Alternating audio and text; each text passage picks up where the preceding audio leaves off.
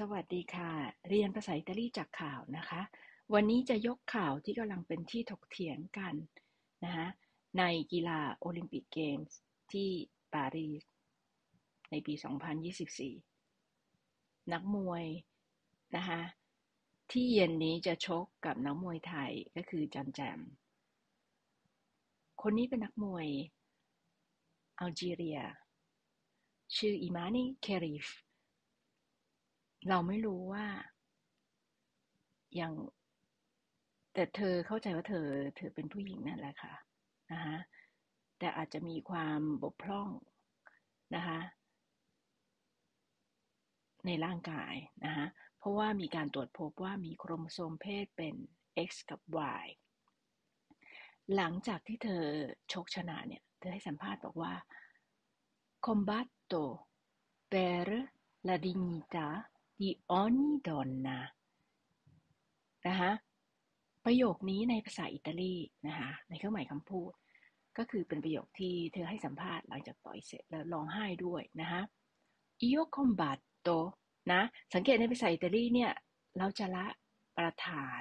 นะคะจะละประธานได้นะคะพูดถึงประธานแล้วเนี่ยนะคะในภาษาอิตาลี ครูจะพูดถึง pronomi personali หรือบุรุษสรรพนาม ในภาษาอิตาลีมี 6 รูปนะคะ ก็คือ la prima persona singolare io ก็คือผู้พูดนะคะอย่าอ่านว่า io นะคะอ่านว่า io ผู้พูดที่เป็นพหูพจน์ก็คือ หน่อยพวกเรา เห็นไหมคะ พวกเรา ผู้พูดเอกพจน์ io seconda persona singolare tu เธอ คนที่เราพูดด้วยนะ seconda persona plurale voi พวกคุณเห็นไหมคะ และคนที่เราพูดถึงที่ครูเอาข่าวมานะคะลุยออเหลยลุย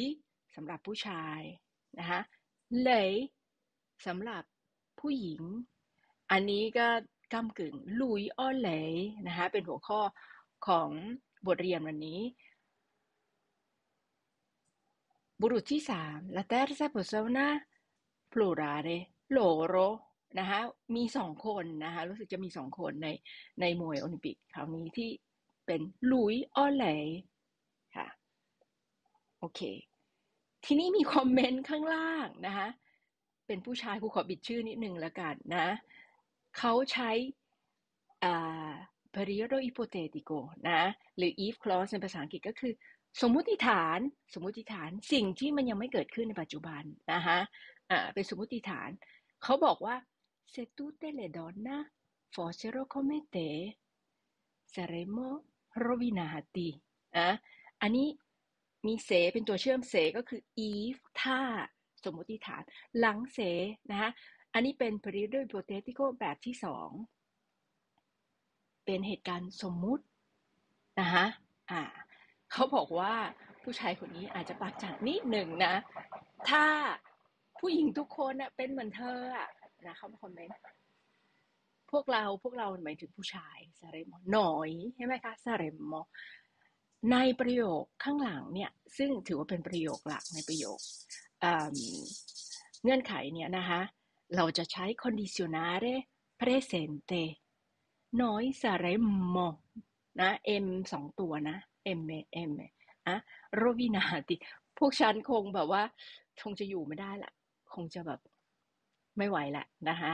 ถ้าผู้หญิงเป็นแบบนี้ ผู้หญิงทุกคนเป็นแบบนี้ ปักจัดนิดหนึ่งนะคะอะโอเค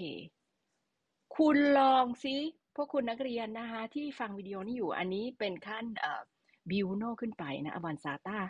ลองแต่งประโยคซิ ลองแต่งประโยคแบบอ่า periodo ipotetico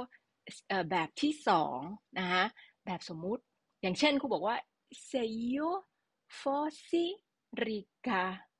เราอยากจะทำอะไร ประโยคหลักก็จะต้องเป็น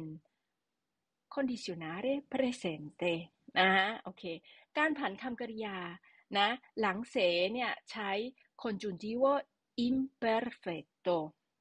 ตัวอย่างเช่น อันนี้เป็นคำกริยา essere che io fossi che tu fossi che lui lei fosse che noi fossimo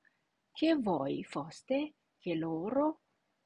ในที่นี้พวกเขาดอนนะดอนเนโทษทีดอนเน fossero ใช่ไหมคะ saremmo ก็คือเป็น essere ของ condizionare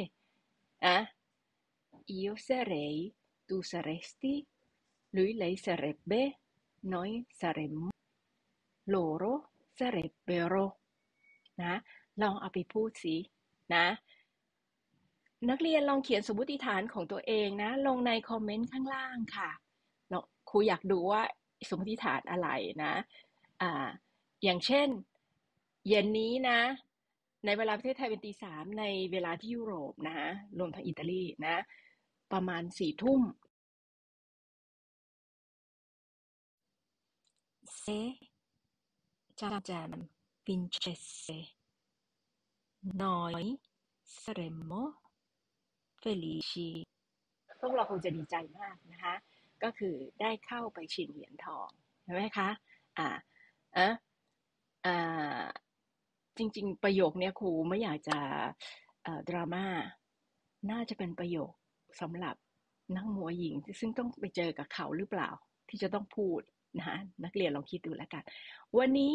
ครูขอสวัสดีค่ะ ถ้านักเรียนมีคำถามอะไรเกี่ยวกับภาษาอิตาลีนะคะ หรือ